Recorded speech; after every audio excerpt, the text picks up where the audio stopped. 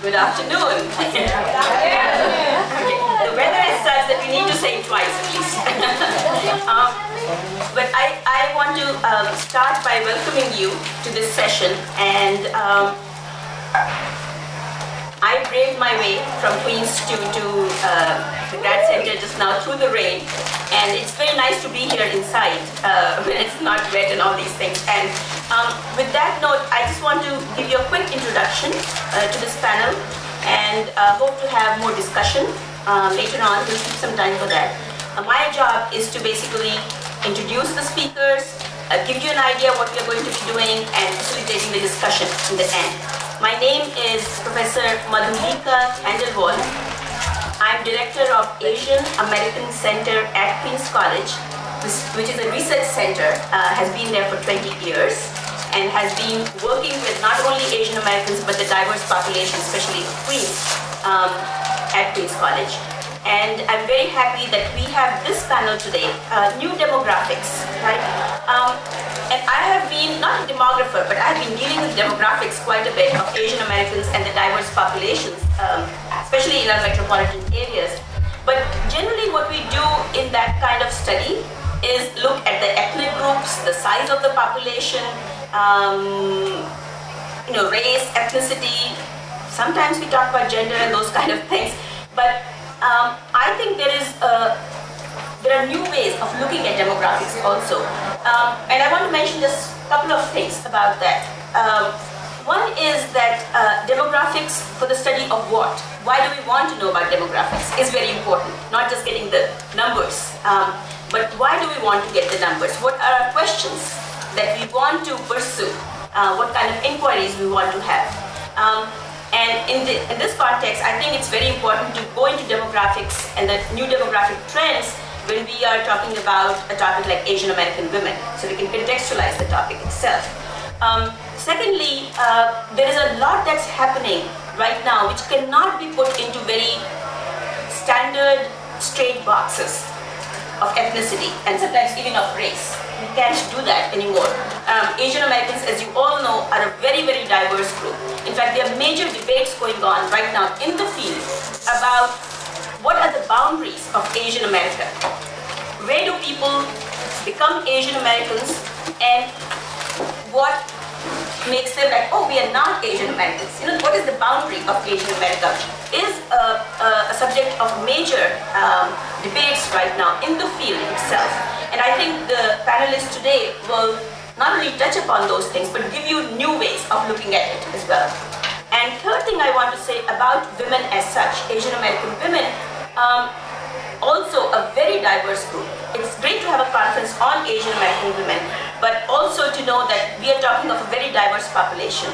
Um, women who are coming from different countries, um, to women who have been here for a considerable time, um, and also coming from very diverse cultures and societies. So it's very hard, I feel, to do a very stereotypical generalization of Asian American women. You know, we hear all kinds of things like um, some people assume that Asian American women, Asian women, uh, in fact, many people don't even use the word Asian American, they would say Asian women are docile, are this. You know, those kind of notions are there. And uh, we are here to, to not challenge everything, but to say what is going on really in our communities. What is going on so that we can really question some of the stereotypes and really go into more debates about not only Asian American women, but the context in which they live, what kind of lives they are shaping for themselves, and what kind of challenges they face, so on and so forth. So for me, the agency of Asian American women is also very important um, in this, and not just have them as subject matters um, in these in these debates, right? So with that quick um, note, introductory note, I want to uh, present our uh, speakers today. Um, we will start with Justin Leroy, who's here. Uh, he is a graduate student at NYU and uh, sent me a wonderful abstract about mixed races. You know, this whole thing about Asian American, uh, as I said, it's very diverse, but also it crosses with so many racial identities and so on and so forth. And he is um, not only a scholar, but I understand he uh, made a film um, on this topic itself. And he has a PowerPoint presentation actually all our speakers have today. Um, so I will uh, give Justin the floor and to uh, tell us about his work. And we'll do the same. I'll introduce the other speakers as they come along, and then we'll keep time for um, discussion at the end, question and answers at the end. Thank you so much, and talk to you again. So, Justin.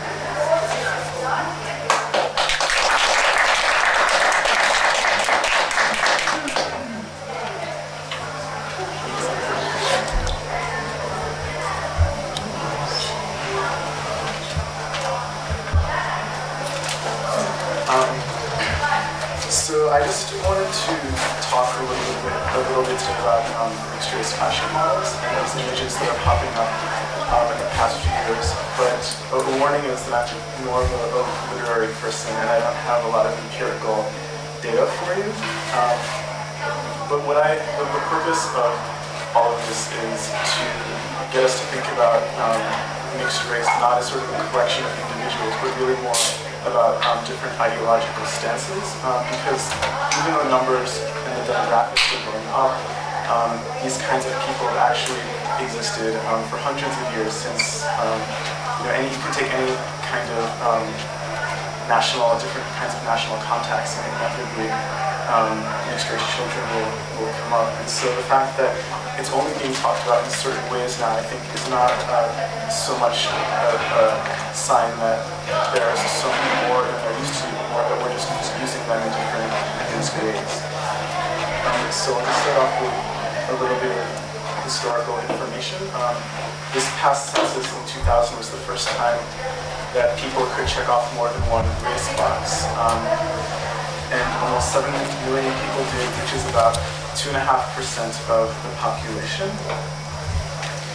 Um, and 1967 was uh, when the, the Loving decision in the Supreme Court, which uh, repealed anti-miscegenation laws, and which had been on the books for uh, over 300 years, since uh, almost 100 years before America actually became a country. Um, so that tells you how important, um, you know, keeping uh, races from not sexually mixing was to sort of the constitutive nature of, of the U.S. and the nation. And uh, there are a couple of ways that the image of the mixed race child is used to sort of um, scare people or, or draw them over to their side.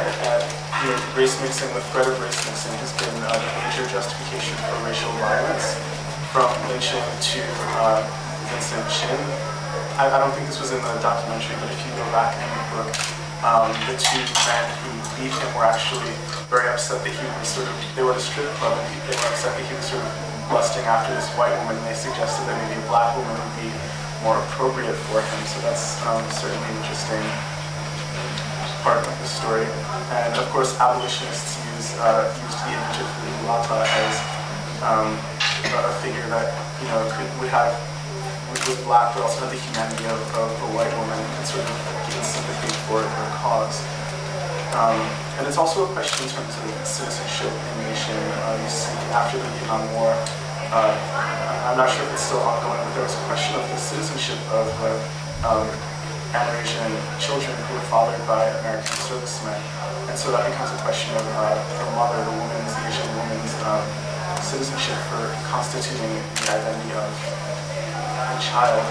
And a lot of this all sort of came to a head about uh, 15 years ago. There was this cover on Time magazine.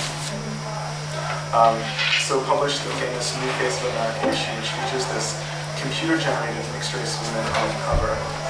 And on the inside, there was this two-page spread where it was like a graph. You could um, chart different mixes based on, you know, there was X, Y, and Z races on top and X, Y, and Z races on the side. You could um, point to a meeting, meeting point that would give you the computer-generated face of any given mix. Um, so that was kind of a disturbing aspect of the of the magazine. But I think what's more interesting is that this kind of image is being posited as this uniquely American and distinctly modern um, development, and it is used to allay anxieties over and immigration.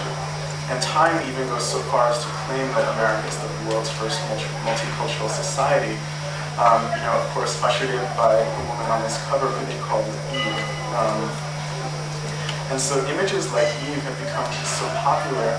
Uh, and you see boxes of Kashi cereal with interracial couples on the box. Um, there's an increasing number of mixed-race fashion models. There's a commercial um, where children of all different colors uh, shouted, I am Tiger Woods. It was a Nike commercial. Um, and so even though all these examples are very uh, consumer-driven, I think more important is that they're all sort of touted as signs of social progress, and so the ways they sort of reinforce this world capitalist sort of hegemony go ignored. Um, at the beginning of the 20th century, uh, the Italian Marxist Antonio Gramsci wrote, um, while he was imprisoned, that uh, the aim of the state is always that of creating new higher types of civilization, of adapting the civilization and the morality of the broadest popular masses to the necessities of the continuous development of the economic apparatuses of production, hence of evolving even, even physically new types of humanity.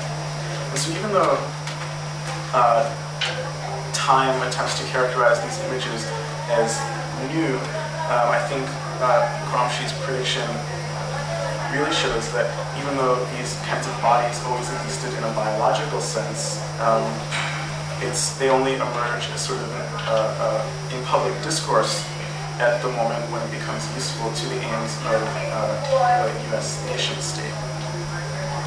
And even though all, all of these kinds of racial and cultural formations can be co-opted in the service of uh, the state, like you know, hip hop would be a great example of a form that started off um, kind of radical and then quickly became co-opted.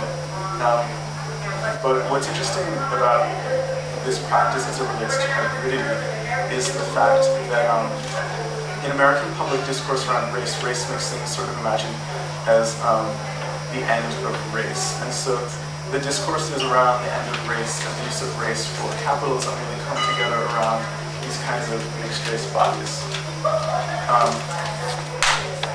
and so I, am going to talk about two different kinds of future, and I use the words teleology and tautology. And uh, teleology is just uh, something that has an end point, you know, it's progressing towards a linear uh, trajectory towards any given end. Um, and tautology is sort of a circular argument that doesn't really provide any new information, no matter how long it goes on. And so it just goes around and around. Um, it made me think of these past couple of months, there have been a lot of magazines with um, Barack Obama on the cover. One of them, uh, U.S. News and World Report, was titled "Does Race Still Matter?" and the other one that I saw was Rolling Stone, and it, the title was just Barack Obama and New Hope. So taken side by side, I think the magazines sort of articulate this contradiction um, in that it would seem that only by questioning the continued relevance of race as a social category Obama and bodies like his democratize the future. Um, there's a journal called Cultural Critique, and a couple of years ago they had an issue dedicated to uh, the topic of post-humanism. And the editor asked, how does one disentangle the critical potential of hybrid subjectivity from the corporate practice of producing hybrids so well suited to the needs of capitalism? And I thought that was a really interesting question. Um, but I think before we ask it, we have to uh, determine what exactly the potential humans is. And so I would like to suggest that the potential of hybridity to resist uh, co-optation by global capital and the state is, um, and then its inability to actually do so, to perpetually be um, caught up in, in images narratives like we see on the Time magazine, um, is really is really about a problem with the way we conceive of racial hybridity. And um, so I just want to to suggest that these kinds of images uh, limit the kinds of it's they're used not not because um, we're actually afraid of mixed race people overrunning the U.S. or whatever. It's more um, to sort of control the kinds of the kinds of roles that uh, um, other different kinds of differently raced people, uh, monoracial people, if you will, can play. And so I think by thinking about mixed race differently, we can actually sort of open up the field for talking about, um, for example, Asian American women, who I think um, uh, are particularly affected by these discourses. And so Um, hybridity is mostly theorized through the lens of futurity, in that it always denotes progress. And so I use the word progress here only as a um, marker of time, not in a positive connotation. And so whether you subscribe to the liberal view that race mixing is sort of a sign that we're moving forward with regards to race and approaching an era when we'll all be the same color, or to the more conservative view that um, miscegenation signals the coming of these brown hordes that will endanger American whiteness. The phenomenon carries uh, this particular connotation of moving forward in time towards a clearly defined endpoint. And so for the, the former, uh, the future is simply a validation of the unquestioned um, global corporate practices taken to um, what is imagined to be their logical end. You know, everyone becomes sort of equal in this uh, democratic globalization. We all you know, will intermix. And then for the latter, the future um, has to be a never-ending rearticulation of the present present conditions. Otherwise, um, you know, society as we know it will come to an end. So the hybrid body is always sort of um, encaled into a temporality that ensures that it sustains these, um, you know, very, very sort of neoliberal, um, problematic assumptions about race. Um, and sort of, I, I, think through these sort of twin, twin narratives of teleology and tautology that keeps hybrid, hybrid being enmeshed in that um, sort of circle. Um, and so the hope and the fear that both of these kinds of narratives engender comes from the conceptual, concept, conceptualization of race um, that sort of understands it as ending once, once we all start mixing. And so it ignores the fact that um, different social inequalities will most likely be displaced in, onto other um, social markers such as you know, class, color, um, education, language, accent. And so until we uh, sort of begin to consider hybridity outside of that, that framework, I think we can't really um, gauge its potential that this editor in cultural critique um, alluded to.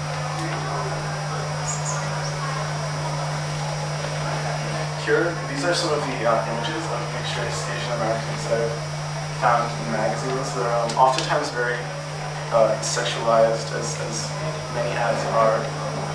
Um, but I think they, they really only allow for certain futures and certain ends and certain um, trajectories. And um, I think it's, it's particularly pernicious for um, Asian American women because uh, it really it naturalizes certain discourses and then obscures others. For example, um, if you think about like, a huge population of um, children who came from military brides, um, by thinking about uh, uh, mixed-race children as this purely celebratory thing, it obscures, um, you know, the violence that many Asian American Asian women um, experienced during wartime, and there's really no there's really no way of um, sort of using these these mixed-race children to talk about that kind of violence. We only think of them as, you know, individuals who are looking for wholeness and validation and um, there's a series of dolls that sort of, they're called real kids, um, and the tagline is, you know, I'm a perfect mixture of both, and my parents made me out of love.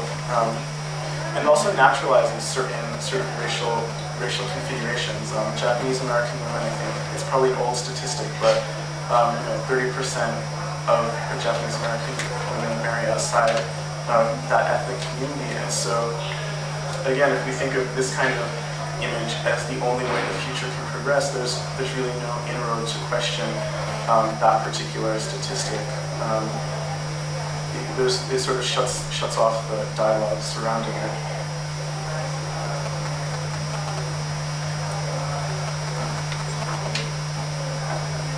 Just skip ahead so get. Um, sure. Um, there were two reality television shows the past few years. Um, that had uh, mixed-race Asian contestants, and the first is Manhunt, the search for America's most gorgeous male model. And this man, John Johnson, won, who um, is a Thai and Icelandic. And then the second, the second season of America's Next Top Model featured April Wilkner, who is Japanese and white. And, um, so John was called Jungle Boy, Hawaiian hottie, Keanu-esque, um, even though his body is sort of marked in many ways as white. And April's body is similarly marked, but um, her race is implied through photo shoots like this.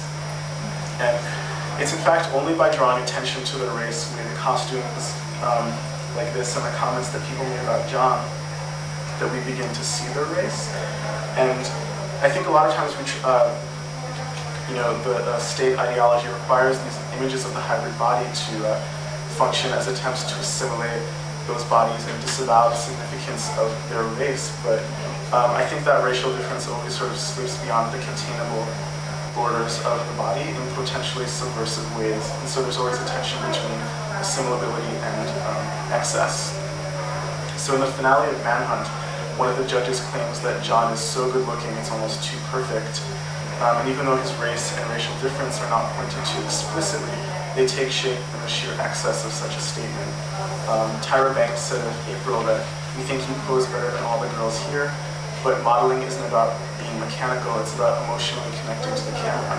And so that kind of criticism isn't really about um, any kind of racial lack, it's about this excess. She showed too much skin, offered too much input, um, thought too much, and ultimately was too robotic. And so rather than affirming the universal nature of hybridity, John and April sort of disturb the, uh, these um, racialized spaces that they exist within and um, trouble the idea that all traces of race can be eliminated through um, mixing or assimilation or hybridity. And it's actually only in the ways that their bodies can't be described in properly racial language, they can't be um, quite categorized as one thing or another, but they are distinguished um, from the other contestants. And so even though hybridity has been sort of uh, discursively formed for the purpose of containing difference. Um, there's always sort of a surplus that remains outside and resists that kind of ideological formation that the um, Time magazine, uh, Time magazine puts out there. And I think we think about um, mixing hybridity in that way, then we can sort of open up discourses uh, surrounding Asian American, particularly as it relates to military rights and um, how marriage creates.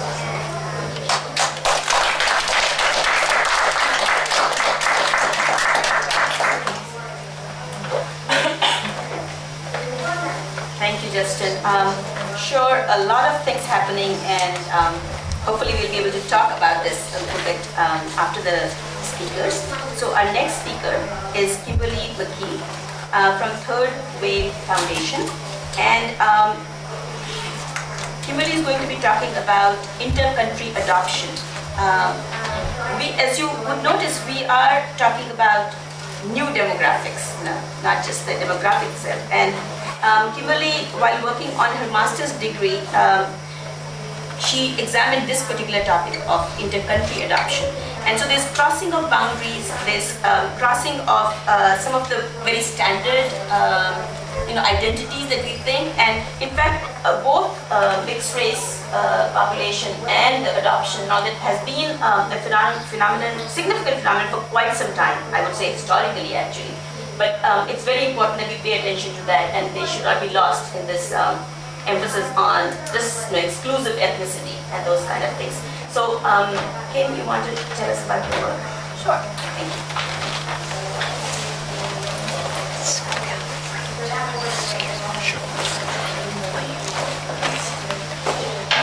Well, first I want to let you all know that my work today in this presentation is not reflective of the Third Wave Foundation.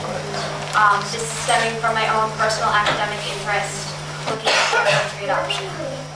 Um, my interest lies in understanding the location of Asian transracial adoptees within Asian American discourse, since they're commonly overlooked and because the United States is actually one of the top receiving countries, accounting for one half, or yeah, accounting for half of the world's intercountry adoptions um, that occur around the world. I'm primarily interested in Korean adoptees as South Korea has sent the highest numbers of adoptees. Um, they've sent over 160,000 since they started at the end of the Korean War period. Um, and up until they continue to be the leaders in inter-country adoption up until the 1990s when China finally surpassed South Korea. Um, moreover, not until the last decade of the 20th century did the gender of adoptees shift from Korea, where now more boys are actually sent internationally than girls. Um, which is why I'm actually interested in looking specifically at the identity formation of female Korean adoptees raised in transnational households. Unfortunately, I am going to be touching upon both post-colonial and queer theory, and I will probably not be giving these scholars their justice um, during this presentation. And I just want to preface that now. it's a bit difficult given the time constraints.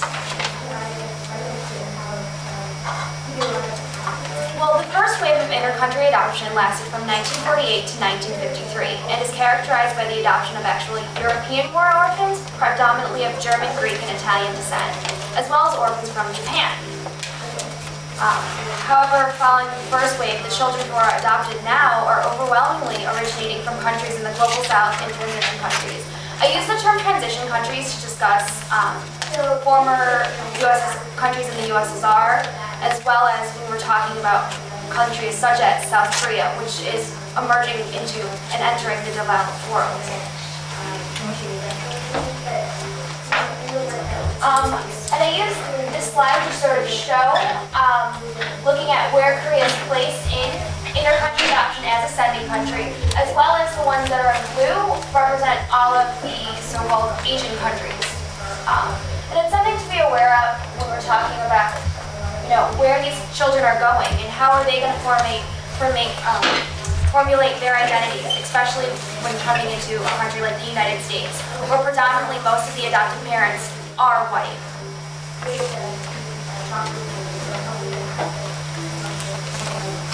So, you know, noting that an estimated 30,000 adoptees a year migrate from sending to receiving countries, um, when looking at the United States, Unfortunately, this is the only statistic I have that in 1987, um, the U.S. experienced foreign adoptees entering the country at a rate of one child every 48 minutes, which is really astounding. Um, I don't think people ever realized how many um, children were coming into this country. Actually, South Korean adoptees formulate the largest population of this type of uh, migration in the U.S. And over time, the original goal of humanitarian relief has been displaced, which has been creating this imbalance between sort of the global south versus Western countries. Um, this existing disparity invokes Spivak's notion of white men are saving brown women from brown men, in that humanitarian discourse allows Westerners to become saviors of third world children. We've seen this when we're talking about now Angelina Jolie, when people are talking about Madonna more specifically, and what's happened with her and her son.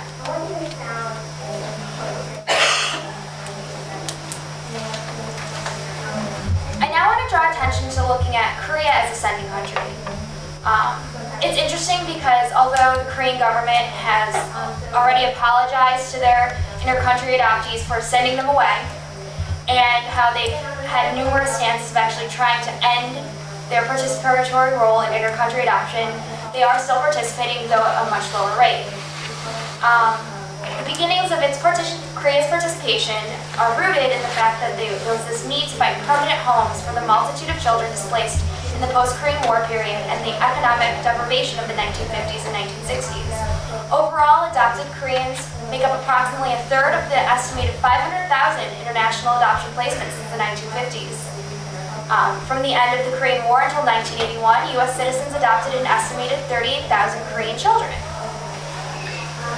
Thus, in the context of the United States, when we look at Spivak's grammatical configuration concerning the saving of brown women, um, you know, inter-country adoption becomes the second option when, you know, healthy, predominantly white babies are not available, families are experiencing rejection from domestic agencies, and it remains an alternative to childlessness. Um, the quest for a healthy baby, who even though is not white, is usually not black, creates these racialized adoptive subjects. This adoption remains unlike the transracial domestic adoption of black children by white parents in the U.S. because the adoption of Korean children does not carry the historical baggage, even though there are other issues of wealth, power, race, deception, kidnapping, class exploitation, colonialism, and imperialism. The trope of humanitarianism as an international act positions the race of an adoptee as unimportant because the adoptee doesn't fit perfectly into this existing black-white binary. Unraised from the beginning of their adoptive lives, adoptees are neither black nor white and consequently exist in the state of in-betweenness.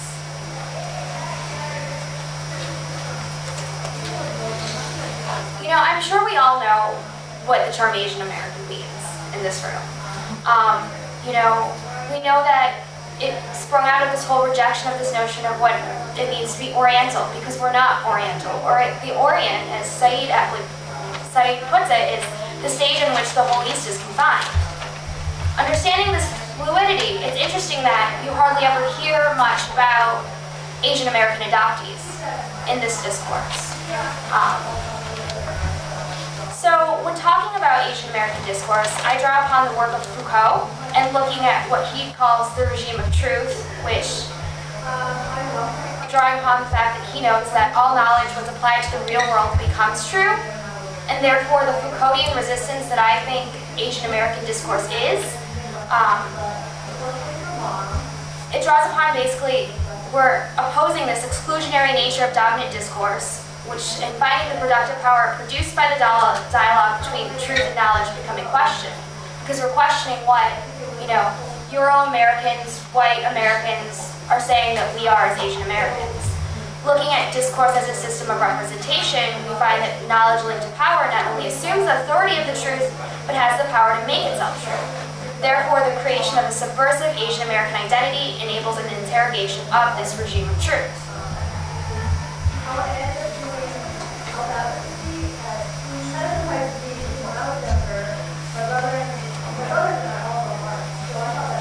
I draw upon the end quote because I think it's really helpful when understanding Asian American women and their identity formation.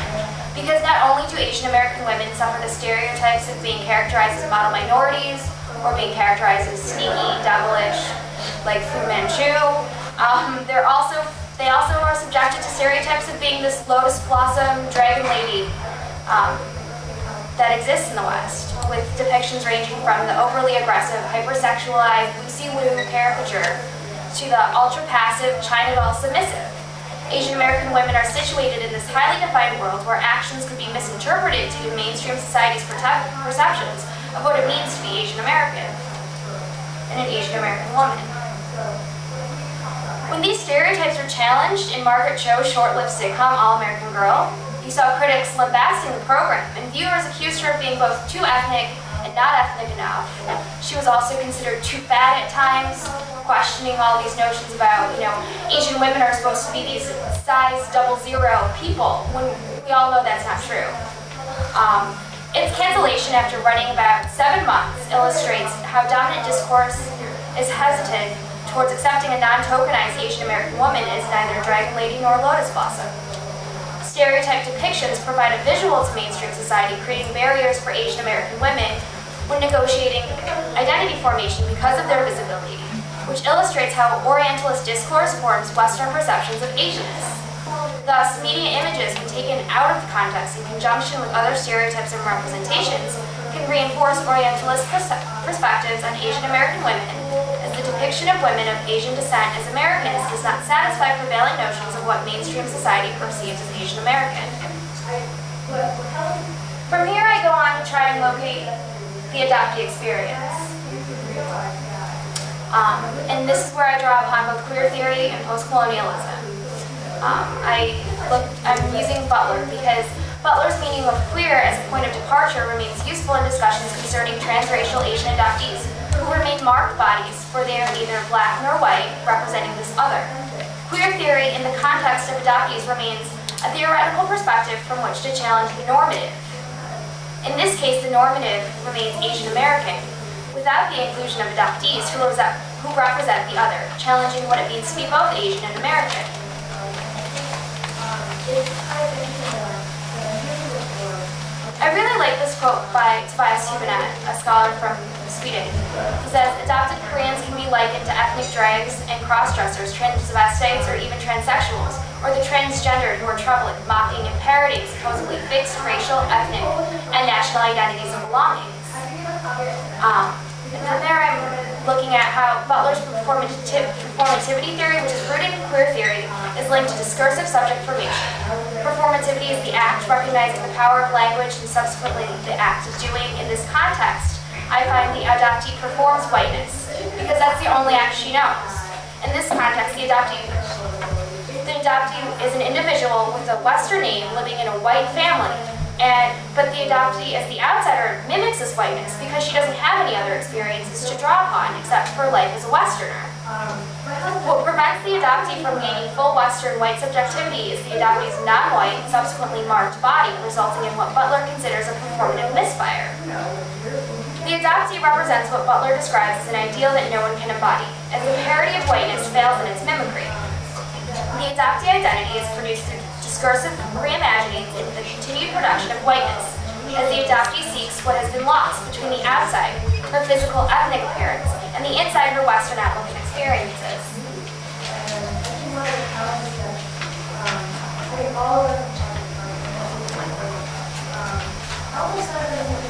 I draw upon Bhabha's work on hybridity to further the understanding of mimicry, noting that mimicry is rooted in the desire for a formed and recognized other that is almost but not quite. I'm aware of the fact that hybridity has been with post-colonialism and colonization, but I contend the adoptee is a colonized body, as she lacked the agency and free choice in her forced migration to the West. In the history of adoption, the adoptee may be forcibly removed or kidnapped from her homeland. Consequently, the adoptee is the hybrid through the ambivalence and slippages between the colonizer and the colonial subject. In this case, the adoptive Western white culture and the adoptee's Asian homeland respectively. The hybrid exists in what Bhabha describes as the third space, a space of ambivalence that is both in between and neither nor sameness and otherness, constantly undergoing transformation. Located in a state of transition and blurred boundaries, the adoptee's borderlands are a way in which the hybrid subverts from the inside out dominant culture through the friction between sameness and otherness as inhabited by the third space. When I was in the mid to late 1900s, there was a of Um, I want to draw upon the first quote that I have up there. Um, it's at Kadapalooza, which stands for Korean American Adoptees. Um, and they're using this term on their t-shirts called stealth Asian. And that draws upon and notes the whole notion of color blindness. Adoptees are existing where, you know, their parents are telling them they're like everybody else, they're American, and not necessarily recognizing that they have a race. By deracializing them, it just encourages this adoptee to perform what? Whiteness.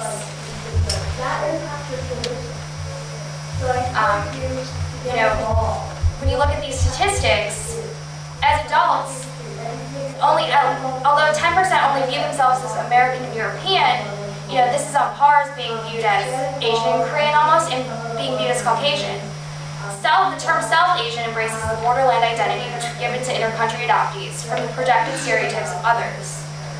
I think my one was the other question about what is your love language? I actually, my love I for Asian was to read. Um, consequently, I find subject formation of the female adoptee is analogous to the experience of female Asian Americans in that both are positioned as marginal subjects in Western eyes. The adoptee remains disenfranchised for her performative misfire and that she can never be truly white, while the Asian American, female Asian American exists at the borderlands under the trope of perpetual foreigner.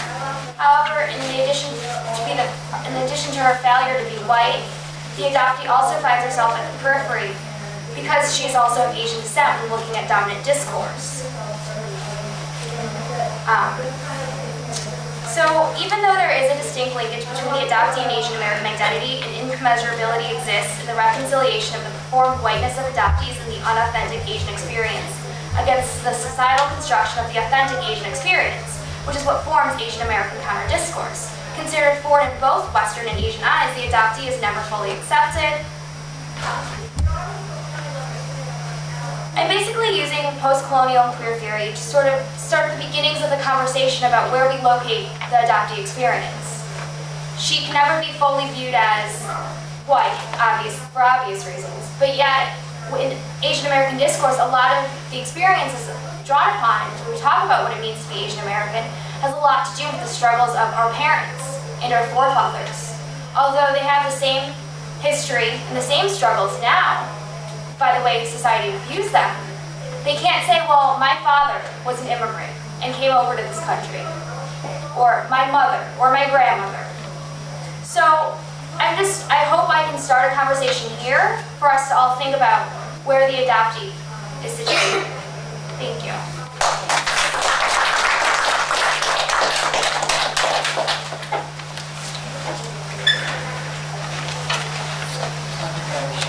Julie, thank you so much. Um, for sure, you know, I'm, as I'm, I am listening, um, this is the new multicultural new America we are talking about. Uh, and it is a question about where do we place Asian Americans, Asian American women in this um, changing uh, demographics, the new demographics. So um, I'm very happy to introduce our last speaker, Dr. Virginia Tong, who is a professor in School of Education at Hunter College. And her work is on social cultural linguistics, on education, and um, I'm very happy that she has agreed to present here about the Chinese youth and the education system and what kind of uh, experiences they go through. Um, and, uh, oh, there you are. um, okay, so I got one of my students helping me. I presented you, oh really? Yes, it is, right? Oh, I've got another one over there. Oh, wonderful. So, so um, here is Dr. Virginia Tong. Just in a moment, as soon as we set up the PowerPoint, right? Yeah, thank you. Please, Thank you, Dr. Khandelwal. maybe you want to introduce us, um, gentlemen. Uh, yeah, that's um, um, Ricardo Ruiz, my, one of my graduate students in our MA TESOL program, and uh, Ebony Chu Brown, who is also a graduate student in our program, both at Hunter College. So Thank you. thank you very much for helping me. Um, well, I'm going to be really brief, and um, I can't tell you how, how excited I am to be here. Um, sharing, sharing my ideas with you is only um, one way of, of my uh, validating some of my feelings and please, your input and your feedback would be greatly appreciated. Um, I wanted to recognize my very, very favorite mentor, Dr. Betty Sung. Without her work, I would never have started uh, my journey, uh, my, my very long and I hope continued journey. Um, tonight, I, today, actually, I can only give you a snapshot of, uh, of a third study that I conducted. And um, it's really just merely a, a snapshot, and it's a very brief PowerPoint, I must tell you. But I hope that each, each panel will, will present you with major ideas. Um, that's not the first panel, that's just the, that's just the introduction. That's the title. And I say sociocultural because I think the aspects of acculturation are not just language, but social and cultural. Yeah, I mean, acculturation sometimes is measured by language production, but really it's how well do our young folks, young Chinese youth, integrate, interact with the main society that really captures the success of their, uh, of their acculturation. So, and uh, the other part of this is silent voices. This is a part of my research that I've never presented on, and I'm really, really thrilled that I can, because I think our Chinese youth, because they're so, so wonderful and so quiet, although Linda may not think that they're that quiet. Um, Linda's a colleague of mine from Hunter at, uh, um, Chinese immigrant youth don't articulate their ideas. And um, I was fortunate enough to um, have, I interviewed about 100 students, and I pulled some of the major questions uh, that they asked of me about their lives in America, and I'll, I'll unfold the questions as we go through them. I will tell you, uh, I am very pleased that Dr. Khandelwal defined this panel as a new demographics, where I'm not presenting hard data, but I am presenting to you a perspective on young female youth, Chinese youth. And the questions that come out of this study really were more articulated from the young girls in my cohort of 100 students.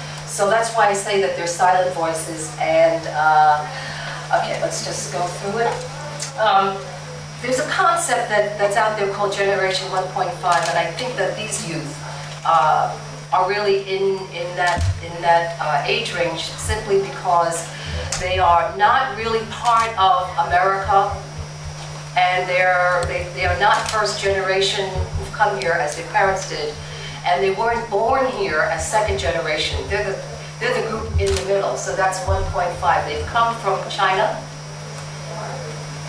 mostly well-formed in terms of who they are, what they feel are the important elements of who they are as an identity. So there are certain characteristics, 12 to 18 years old, not part of first generation, their parents, not part of second gener- generation who were born here, but they're that middle group. And I think the critical piece here is, and, it, and, it, and it's problematic for them, is that there's a conflict, there's a tension that occurs because they're neither fish nor fowl. They're not American and not, they're not Chinese. And they're not like their parents, and yet they are very much like their parents. So there are a lot of things going on in, in that body, in that mind, that really causes a lot of uh, frustration. Uh, unspoken frustration, though. And that's what I think, that's why I call this the, the silent voice. Um, this is actually, uh, um, every time I look at them, I get, I get goosebumps because these are students that I actually um, had in my study. That's their ESL teacher, and you can see that's their ESL classroom. Um, just in a snapshot, they are from China. The statistics, 103 students. Most of them came from China. They live with their parents, although they live with others too, uh, grandparents, uh, aunts, uncles, cousins. They range in age, they're a little bit older, 16 to 19 years old. Uh, Putonghua is their, their primary language, although they speak Cantonese and uh, as well, but Putonghua is their major. They've been in this country, and I deliberately captured a group that was that was here for a very short period of time, one to three years, because I think that's where the the friction or the um, their attitudes, their their well-being, the sense of well-being really develops during those during those critical three years.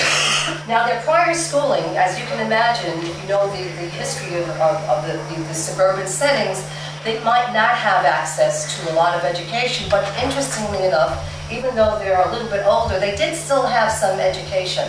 So I, I really felt good about that, that, um, that the government is making education more accessible to the groups uh, who live in the different regions, whether it be in, um, um, anyway. This is a 10th and 11th grade um, mixture group. Um, anyway, um, to, to what, what I also wanted to share with you is that there, I believe that there's a changing voice out there where women are becoming more, female students are becoming more expressive about what they want to know. The boys, for whatever, I'm sorry, the men, excuse me, the young men, are a little bit quiet because of the, this notion of self-esteem and the need to project a strong male position, so they don't really articulate their concerns. But the girls did, or the young women did. Uh, I don't have a full picture of this class because it was just too big to put, and Ricky and I had a, little bit of a problem trying to fit in uh, that picture. But of the entire class, these are the only girls in the class. The rest of them were boys. So as you can imagine, the one child and the son first um, uh, um, uh, regulation really held, held true here because the girls are underrepresented. They might not be in school for a variety of reasons. Perhaps the parents didn't encourage them to go to school. They encouraged the boys, as a pattern, as there is a pattern. Um, so, uh, I mean, they're, they're, they're, they're, so precious. I want to hug each and one of them. Uh, they, they, but the girls, though, were very, very sharp. When they gave an answer, they gave the right answer. And when they spoke, they spoke well. And I was really happy for them. I was really proud of them. I'm a teacher at heart, so I really, really, um, I really was proud of them. Yeah. The girls, um, and interestingly, I think this is from Dr. Sung's uh, work earlier today. In terms of statistics, statistics, uh, I don't want to get into the questions just yet. Um, Asian American women by level of education, not high school grads, 16%. High school grads, still only 38%. That's pretty low. So I think our girls, while for whatever reason they don't complete their education or perhaps they don't attend, the numbers are low. And we need to really look at that. Um, because it's a different paradigm. There's a, there's a, a need for girls to be obviously more represented and participants of education. Uh, be that as it may though, these girls uh, also uh, were, as I said, they were very, they were quite expressive. And that's only a snapshot of a small, one tenth of the total population that I actually interviewed. What do they want to know? Some, some of their questions. They want to know what Americans think about. So in, embedded in that is a, is a quality of values, attitudes, and beliefs. What drives the behavior of Americans? Just posing the question, I'm not even trying to interpret why they're asking it. Who and how do they make friends? This says to me that their peer groups are very important to them. And Betty, I know in your research you talk about um, young youngsters growing up in New York City, um, but I wonder how different they are compared to who you studied and, and, who this group is now. These, these uh, students also wanted to know how holidays are, are celebrated. Birthdays, Christmas, Valentine's Day. Uh-huh, yeah. And of, of course, Thanksgiving. They wanted to know why these holidays were so important. Because it's getting at the, it's getting at the heart of the issue of what are the values that drive the American culture. Because the more they know the values of the American culture, you can imagine, the more that they can interpret and participate and make decisions not to participate because they don't necessarily participate in everything that they see. They're not, they're very critical thinkers. They might not express it, but they are. And then you kind of delve a little bit into pop culture. What shows, movies, movie stars, singers do they like? I mean, you could, these are teenagers, right? So that makes a lot of sense. So what, what this is telling me is that they're beginning, they're identifying with the American culture, but they're identifying with their peers. What do their peers like? So it makes them more like their peers so they don't stick out like outsiders, they're not marginalized. Okay. How do they hang out? How do Americans hang out? Do they go to the movies? What do they do? Do they go to the park? Implications for their future behavior, Chinese students. Can I have the watch? I'll keep an eye on the time. Yeah. What do Americans mean by being free? I was really surprised to get this question that they would ask me that. What is it telling me about what they feel about being free in their country, not being free or feeling free? Or has the notion of freedom changed in their country? I was in I was in China two years ago, and I interviewed actually uh, a year ago, and I interviewed some college students. And interestingly, they want to stay in China. They're very they're very hopeful. So China's changing. Even even by the time I collected this, which was three years ago, to now. And the last question: What is their communication style? That's pretty easy.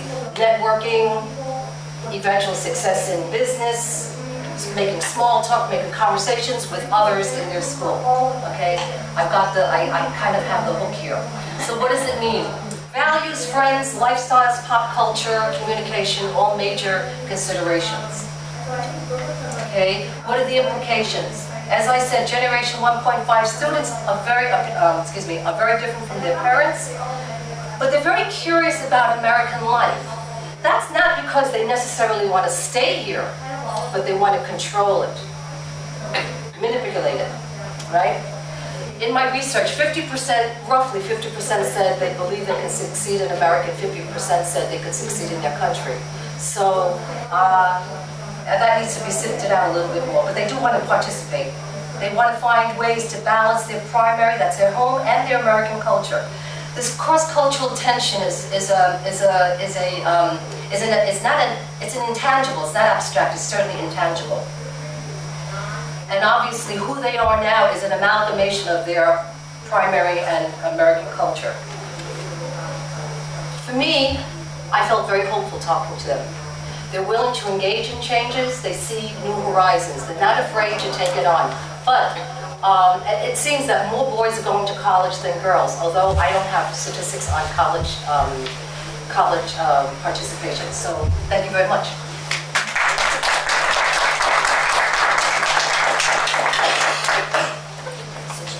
Okay, oh, take that. You want to leave it here? Like it? Okay, I'll leave it over here. Jane is in your. Okay. Is that okay? Yes. That's a nice one. Yeah. backdrop. Um, so thank you so much um, for all the speakers. Um, and um, I want to utilize this time really um, um, fast so that we can hear from you um, and you can ask questions for um, speakers, for individual or for um, all of them. I just wanted to um, start by uh, making three observations. Um, as I was listening to the speakers um, and also talking to them earlier and communicating with them on, on email about their work, um, I, I'm struck by the thought, uh, what does it mean to be Asian American? Mean, what is Asian America when we talk about that? Uh, I'm talking about a very broad topic here, but it comes to that. You know, what does um, what do we mean by Asian America? Where does Asia meet? You know, Asia meet America. You know, because we are talking of populations. You know.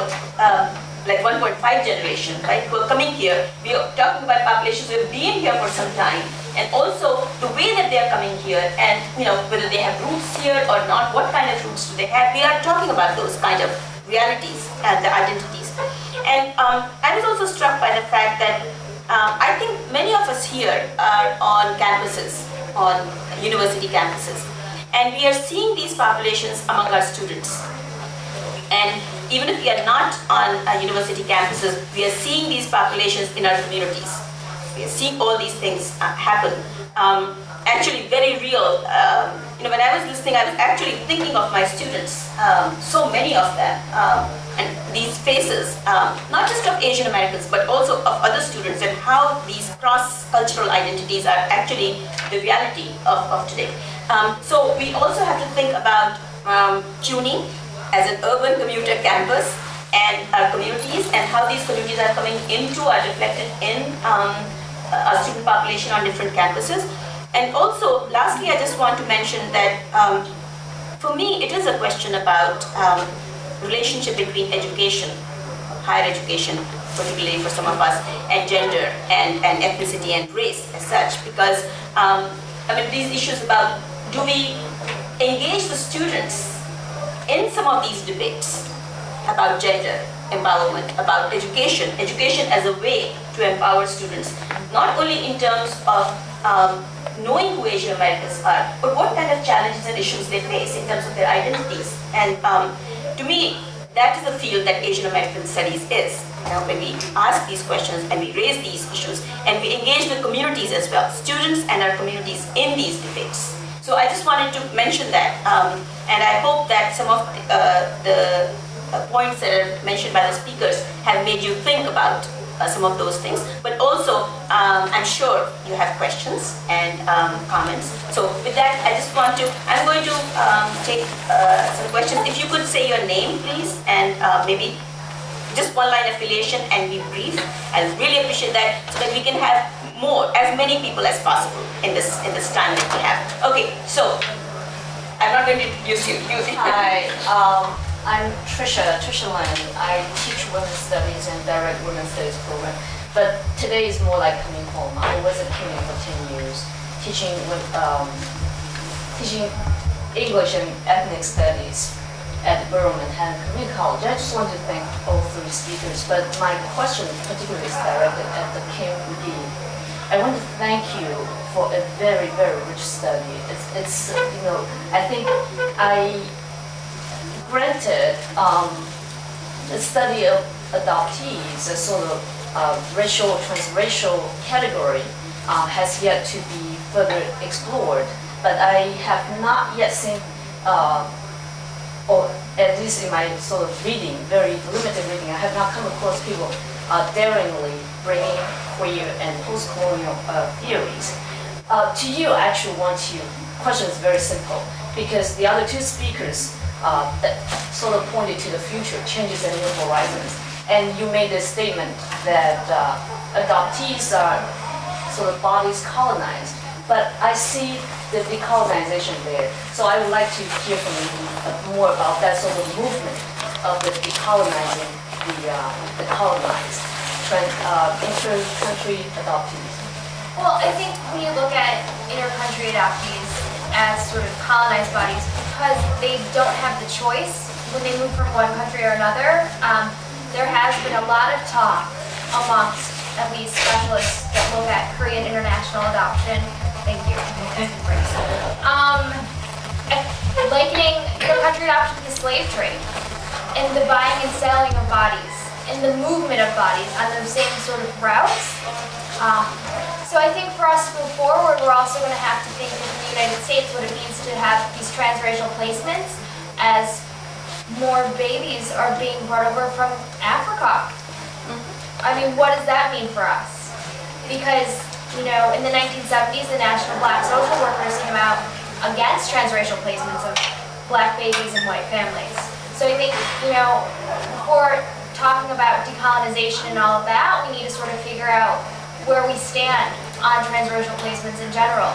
You can't just say domestic black babies are somehow very much different than African or African children um, being adopted into white families. Can I just quickly say, um, um, do you see a sort of uh, movement um, sort of within Asian America, or say the transnational adoptees coming together, articulating? Yes. Okay, very briefly. Okay. We're going to continue on. Sorry. Um, there actually are. Uh, last year was one of the major international gatherings in Seoul of internationally adopted Koreans. Um, there's also many different adoptee associations. There's AKA in New York, which is an organization for adopted Koreans. So there is a lot of going on up there. Okay, and um, next question, and say if any of you want to, this question was for Julie, but if any of you want to jump in, please let me know. Okay, so the next question or comment? Anything, it doesn't have to be about the presentations necessarily. If you feel you have something to add. Betty? We look, look, look towards you. I'm looking at Virginia, and I was looking to see what uh, she was going to say about uh, American, uh, Asian American youth and their socio-cultural, what was it, heritage or whatever, uh, was it, uh, The social cultural questions. questions. And, and you just, uh, you just narrowed it down to the 1.5 generation of people, and they were, uh, you know, in the, what, in the uh, high school age? In the high school, I was looking to see if there was something more broader, because I think we have a lot of those, and their attitudes are totally different from, you know, the Asian traditional attitudes. I was looking to see some of that. Are you going to go further into that? Um, well, this, this study actually has, has concluded, has been concluded. Um, that's certainly another research grant. That's certainly another study. um, I'm, uh, I'm completing a study on the acculturation uh, of, of these kids um, through the lens of teachers. I'm, I'm concerned with what happens with this generation 1.5, not their attitudes, but why they're left out of the picture sometimes. Why they um, fall through the cracks. And interviewing them would be really a good idea, but they don't give me the information. They don't know how to articulate what's in their heart and in, on their minds. I think my, it's a possible another research grant to look at uh, counselors and get from counselors and other agencies what's really troubling these youth. Um, I will definitely want to, uh, to interview more, more youth, definitely. Well, I have a- another question, Melissa, because uh, I belong to another organization called the Committee of 100, and we did a survey. And we ta- we uh, asked a lot of the Asian American, uh, Chinese Americans, uh, young people, what uh, uh, their thoughts were. And one question we asked was, uh, who are your role models? And guess who they were? Because I was very surprised. They were mainly celebrities and sports people. And I said, you know, traditionally in Asian tradition, these are not the people that we look up to. In fact, they are looked down upon. And yet, uh, here they were, uh, looking up to celebrities. and, and to, to sports people, which is what American values are. They look up to celebrities and sports heroes. And the other question that was asked is, uh, we asked them, uh, have you ever experienced discrimination? A lot of them, more than half said no. And I said, well, that's unusual because, I mean, when we were growing up, we experienced a lot of it. So, I mean, how are, how are, how are the younger generation changing? And that's, that's what I was looking to Virginia to tell me. But She needs another grant. Virginia, yeah, you want to? But, but they, but there was one question that they asked, which was, uh, who are the favorite movie stars? You know, sort of in the pop culture way, movie stars, singers, um, and so on. So they are, it's interesting, because of the exposure of the American culture, how can they not take on some of the quote-unquote American values, but what is American? Is it only American or is it European?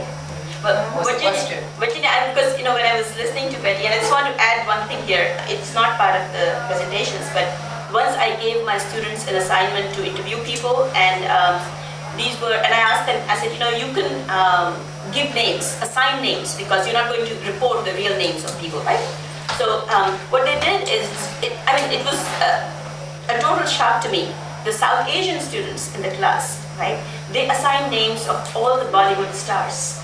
And I was like reading these papers, and, and it's not about even America in that sense, you know, it's the, the transnational, the global, you know, this whole thing. And these are South Asians who have grown up here in the United States of America. Some of them are US born, some of them are 1.5, some of them are immigrants, whatever. But they were giving names of all these movie stars like Aishwarya Rai and Shah Rukh Khan and all.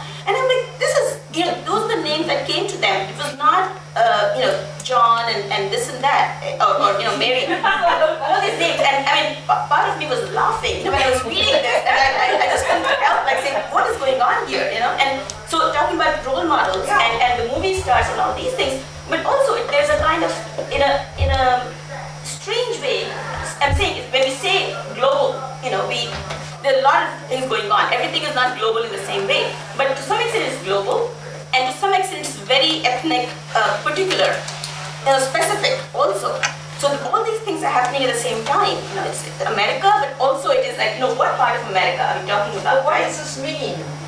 Yeah, Exactly what is it? And you talk about names. Um, I took a, out of the hundred, I think nearly 50% of the students took on, boys and girls, took on American names. That's interesting. Uh, Cher was one. I was waiting for Madonna, but it's interesting. And I asked them why, and they said one is because they they they, they like the sound of the name, but also they feel that their their American teachers can't remember their Chinese names. That's- So really, to get at what you want, Betty, it's it's it's. I think you probably need. You're talking about what is their identity now and how is it defined. I think it's got to be defined by several things, by the students themselves, and by people outside, like counselors, who can articulate what they think students are thinking, uh, and then correlate the two somehow. Take the two bodies of knowledge and correlate, and see how valid you know, the information is. Um, we have somebody there. Uh, um, um, Christina Wazat from Brooklyn College. Uh, yesterday we had a uh, leadership awards luncheon, and one of the MCs is Chinese, and we call her Jessica. But that's not, and that's not her real name. And she said because we don't, it's it's a beautiful name, and we butcher it.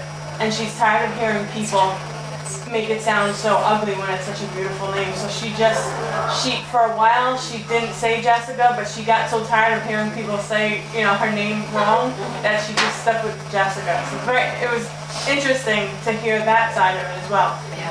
Yeah. Yeah, yeah, yeah. Because they think, they, they really do, they really do have presence of mind, but they don't have a venue to articulate their concerns. And I think you're right, Betty, I should look into another grant. Um, we, we should wrap up soon. I, I don't know, have, and Frank, do you have an idea how much time? Yeah, I think we we should wrap wrap up now? Yeah. Okay, uh, but can I, can I give um, the speakers, um, you know, one, uh, not a final word, but, you know, if you want to say something about the discussion today, and, and then we'll wrap up. Um, when we talk about adoption, I also think it's very much akin to talking about what it means to be mixed race. Um, and I just wanted to end on that note because, you know, when you talk about what it means to be a hybrid, you're directly talking about what it means to be mixed race. Um, and, and that's something we can't forget. I think a lot of people, when they see an adoptee who's Asian, they're like, oh, they must be Asian. And they must just, they, there's all these assumptions that go along with it, even by other Asian Americans. Um, so that's something everybody needs to be cognizant about. Yeah, that's, um, in sort of making the comparison between um, transnational adoption and the slave trade, um, that, that was really interesting to me because I think it's important to think about how slaves did physical work to sustain uh, the U.S., whereas these kinds of movements can do ideological work to sustain um, certain uh, practices about the nature of the U.S. and that's, I think, an important thing to think about. Yeah, I just, uh, I guess I, I just want to probably continue the last few minutes of our conversation. I think that there- there's uh, definitely a changing demographics where I think uh, Chinese women will have more of a voice in America than they've ever Did we had. say Asian American women also or not? Oh, I can't say because my, my, I gotta be very Yeah, I'm saying if you can looking on Asian American, American, Asian American women, then I was wondering if we could. I can't only Yes, because, okay. I mean, I would like to. Okay. Uh, But I can say that um, I think Chinese women will redefine their identity in America uh, in ways that they ever, they never knew how the law could work for them. We talk about abuse and how they can really rely upon those services. So I think there's a changing demographic in that way. Thanks. So, thank you so much for coming. And um, I think there is um, uh, an event just starting, right? Uh, uh, we would in, in a few minutes. Right, we have Nina Alexander's reading and wine and cheese, Yes. and wine and cheese upstairs. Right, and um, we can continue these conversations informally, I'm sure, right? Uh, in this conference and beyond. Thank you so much coming.